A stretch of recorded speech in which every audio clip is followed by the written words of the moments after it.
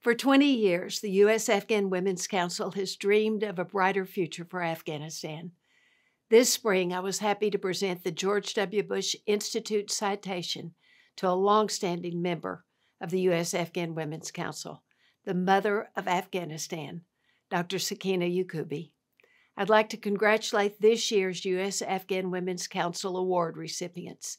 I'm inspired by brave advocates like you who've been on the forefront of progress inside Afghanistan. Your work is a testament to the Council's enduring impact and importance. Our hearts are heavy for the Afghan people, especially for the women and children who've had their opportunities and freedoms denied once again. The Biden administration, the U.S. Congress, civil society, and the private sector each have a role in helping the Afghan people.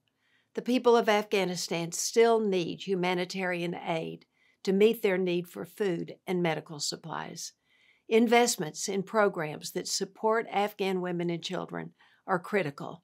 And here in the United States, it's important that we warmly welcome Afghan refugees into our communities.